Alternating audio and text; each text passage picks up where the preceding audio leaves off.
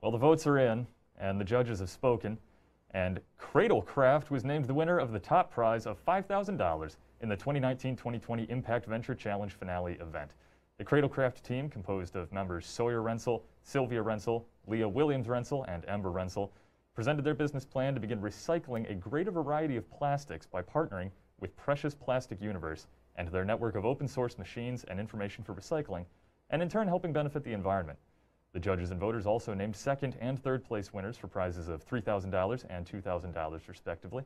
In second place was Team Dairy Dog, including members Christina Munchmore, Marietta Munchmore, Catherine Long, Hannah Wagner, and Emily Warren as they pitched their plan to run an ice cream and dessert business that gives to nonprofit partners in support of education and microfinance activities in marginalized communities. Finally, S'mores Galore came in third place, led by Shay Stoltzfus, who is inspired to develop a product to allow buyers to make their own gourmet s'mores. Along with this product, they also plan to start the Second Chance Campfire program, which would allow those in prison reform programs to connect with employers and mentors. Congratulations to all the finalists, and good luck in your business ventures.